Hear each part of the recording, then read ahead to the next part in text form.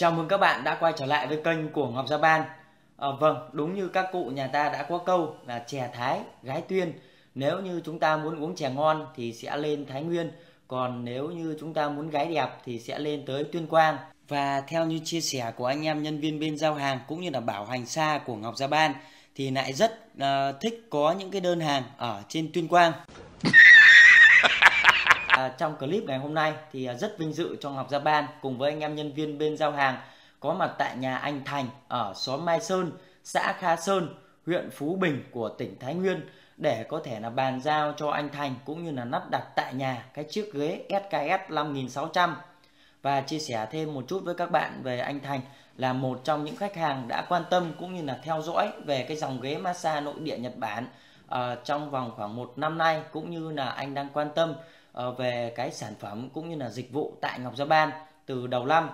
Và theo như cái chia sẻ cũng như là cái lời tư vấn trong cái quá trình mà Ngọc Gia Ban nói chuyện với anh Thành, thì ờ, anh cũng đã có nghiên cứu về nhiều dòng ghế massage, nhưng mà cuối cùng thì anh xem về chất lượng cũng như là về dịch vụ thì anh đã quyết định lựa chọn cái phiên bản SKS 5600 tại Ngọc Gia Ban. Ờ, bởi vì anh muốn là về cái tầm tài chính nó khoảng là trên 20 triệu cũng như là về cái chất lượng của nó vẫn được đảm bảo uh, sử dụng được về lâu về dài. Và bên cạnh đó thì đây là một trong những cái món quà mà anh Thành muốn dành tặng cho hai bác. Và Ngọc Gia Ban cảm thấy rất cảm động uh, khi mà uh, bác Nguyễn Quốc Vụ là bố của anh uh, nhận được một cái món quà rất là tinh thần cũng như là rất là ý nghĩa khi mà bác đã bước sang uh, tuổi về già.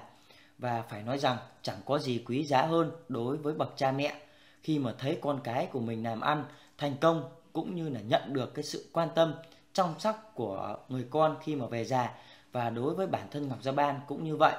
Và việc mà khi mà người con có những cái món quà đặc biệt là ghế massage một trong những cái thiết bị để chăm sóc sức khỏe thì uh, những bậc sinh thành làm cha làm mẹ uh, cái biểu hiện đầu tiên đó chính là cảm thấy về cái mặt vật chất cũng rất là tự hào cũng như là bên cạnh đó về mặt tinh thần cũng cảm thấy là người con không chỉ là thành công về cái mặt sự nghiệp và về tài chính mà bên cạnh đó uh, họ vẫn giữ được cái tâm cũng như là biểu thị được về cái việc mà những người cha người mẹ đã dạy dỗ thành công được một người con trưởng thành về mặt sự nghiệp cũng như là trưởng thành về cái mặt tính cách để làm sao đảm bảo được uh, là một người có ích cho gia đình cũng như là có ích cho xã hội.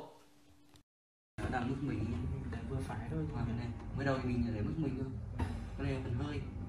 Phần hơi này đấy nó tăng nó tăng lên mức đỏ này. Trên này là mạnh bên dưới là nhẹ.